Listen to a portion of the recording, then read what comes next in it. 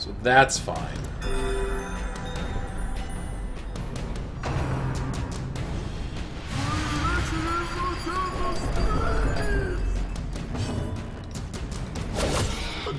One HP! You're looking at head one, friend. That one. Sorry, Ash. But really, Ash, anyone who has been watching this game, like we have several viewers while you've not been around, who um are huge fans of Darkest Dungeon, who have stopped playing the game because they've like beaten it on New Game Plus forward and backward. And after watching a couple runs of this game, watching a couple of matches, like they found a new love for Darkest Dungeon. executed. My Myers has higher rank Lightborn than your Billy. That's kind of silly. I'm guessing you ended up getting it from a shrine, or what happened there, chicken? Precision and power. I do, Imai. I do. Uh, Imai's posting a comic that has to do with um, Pokemon Sun and Moon, the new ones. Apparently it contains spoilers, but I haven't played the games at all, so I know nothing about it. So, if you're concerned about spoilers, watch out. But yeah, the other thing, Ash, that I was started talking about and then drifted off is co corpses in different areas other than human corpses actually do things now. Skeleton corpses reanimate into another enemy. Uh, corpses in the warrens can cause blight. Corpses in the cove can cause bleed, and corpses in the warrens or uh, the the warrens cause disease. The weald causes blight. So it's so great.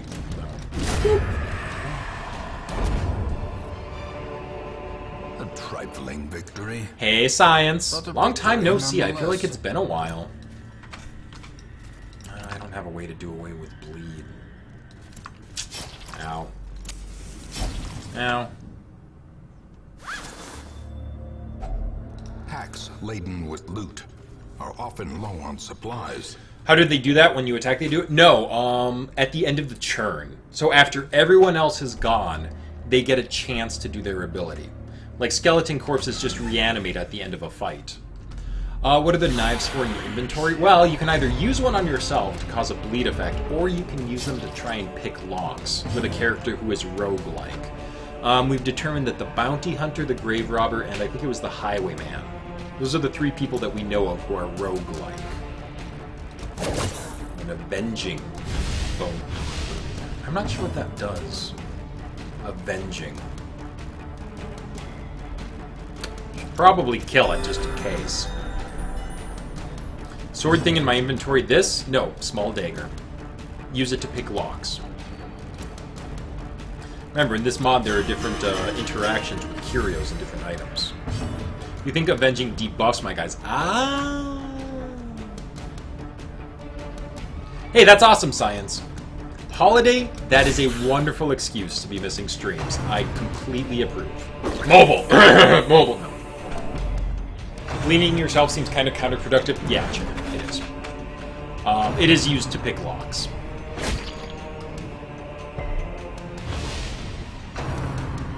Oh, avenging debuffs you when you attack my scene. That's right. We figured that out last week too. Thank you very much, Maester Silvio.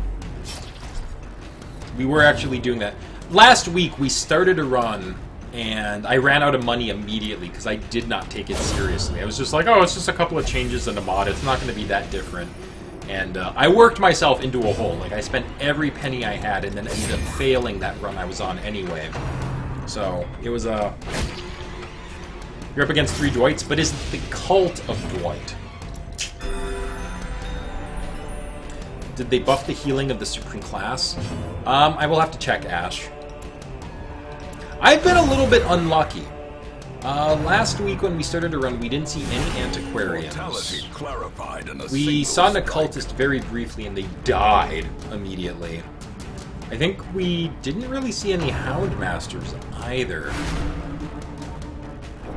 And I'm told that antiquarians, like, basically got completely reworked. I still have not seen one.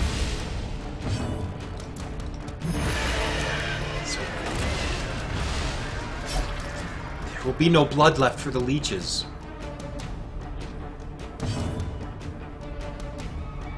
What chain? What the heck are you talking about?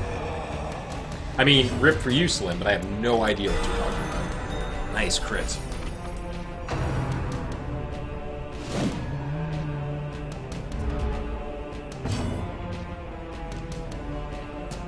Oh my god, your Pokedex talks to you now?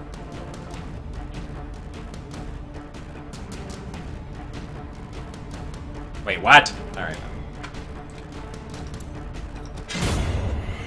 Spreading the damage. I expected the Jester to be able to one-shot that. That was my bad. I shouldn't have spread it out like that. Well, I agree with you, Ash. That's why I'm excited to see how they are. So that I can reserve my own judgment or if I feel they are still balanced, if it was a good change. Antiquarian was my favorite class. May we so. victory.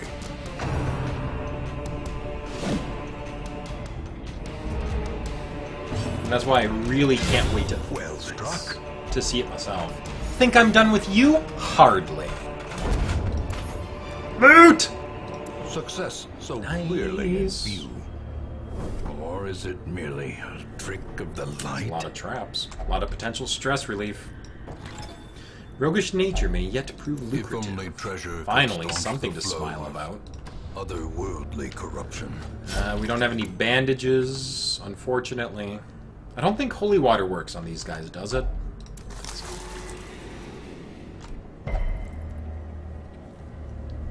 Adrenaline orb? I have. Is the Jester claimed and why? Uh, XDXPX3, yeah. And why? Because someone wanted a Jester?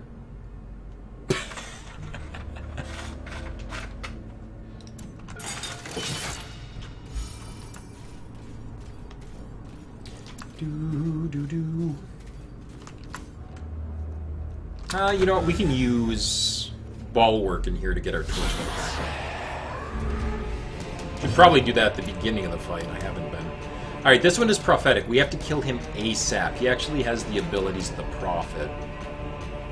Which means he's immediately going to call down stones on someone, so we have to kill him before they fall. Ka! says he.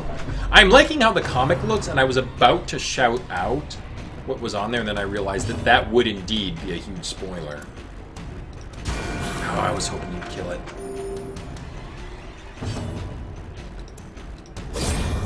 Nice! Close. Now you refuse to be a jester. Baby rage!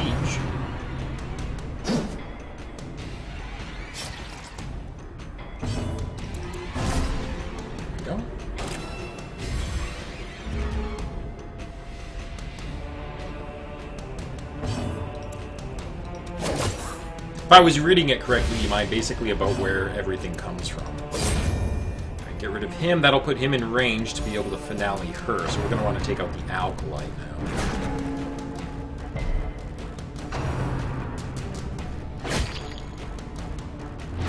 There can... Oh my god! Mr. Silvio, you're telling me there can be two secret rooms in a long one? My mind is blown. That... Oh my goodness. That does blow my mind, though. Double secret rooms. Never even, uh... Realized such a possibility. I might cry. I might. Alright, let's one-shot her. Dare to drink. Where do you see that they are prophetic properties? If you look at their names, you'll notice that all of these ones, some enemies have different suffixes for their, or prefixes for their name. These ones, these are all standard ones, but the um, arbalest was called a prophetic arbalest. Or whatever they're called, prophetic crossbowmen, or whatever. So, these ones are regular.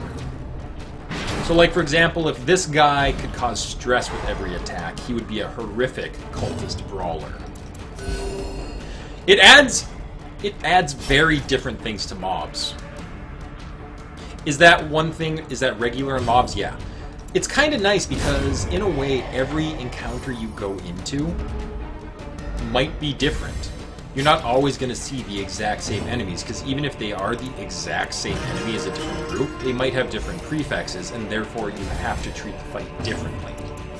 It really keeps you from getting into the same, like, grind mentality of, these enemies do the same thing, so... I'm liking it so much. Now, these corpses I'm letting just sit, because they're human corpses. They, they don't do a lot of anything. A singular strike. Poor human corpses.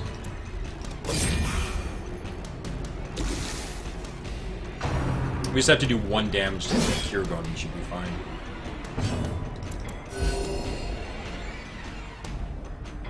I think we still have one more turn before we get stressed. Okay, it doesn't matter, it's dead anyway. This Dead anyway. Promises success. Everything runs red. Boo. 70, 60, 90. Cruel machinations spring Don't worry, you'll get the next one. With a singular purpose. Ah! Mechanical hazards possessed by evil intent.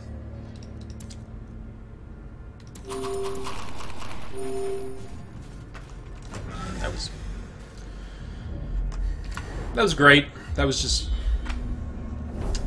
Oh, look! Another trap! Don't worry. Just gonna get this one. Ow! Finally, I get my hands on an authentic Eldritch sample.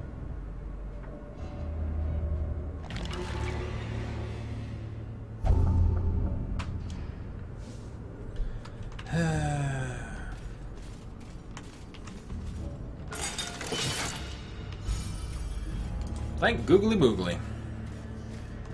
Ah, that's actually really cool, mate. Um, Maester Sylvia, I keep almost mispronouncing your name. How often do you update this?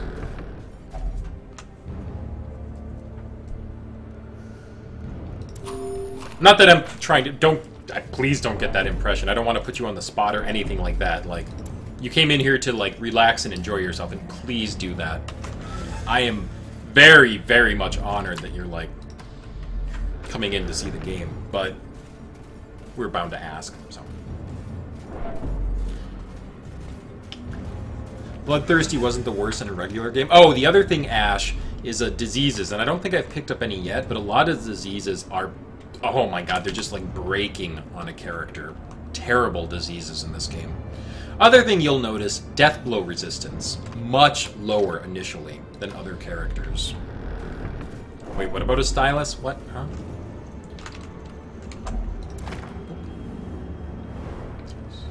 Oh, I should have cut out pages. That was a waste. I was hoping we could make it to that room. to fall for such a little thing. A bite of bread. Virtue? Alright, I messed that up. I messed that up so bad. I was hoping we could get here so I could use my uh, gesture for stress relief. I think we can still get it, though. Injury and despondence set the stage for heroism. Or cowardice. Set you in front so we can immediately kill an enemy. PBD has been in active development for close to two years now, and during a normal schedule, I can update it as much as a dozen times in a week. Wow. Is the game better balanced overall, or more at the mercy of RNG than before? Um, science, I would definitely say in a lot of guards. I don't know. I feel we should not tarry. Villainy is on the take. I think it's way too early for me to tell, say anything like, oh, uh, you know, it's better balanced like this, or it's not as well balanced. That one's gotta go. But, um, I would say it feels balanced, but it also, in some regards, feels more unforgiving. Mostly in terms of gold. If you fail a run, like, very much, Um, it feels like it can be much harder to recover from failing a run than it did before.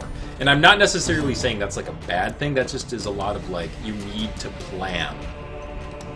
Even if it's planning for failure. Like, make sure you have enough money back in the base so that you can buy supplies for another run. Of all the ones they turned into, it had to be that one.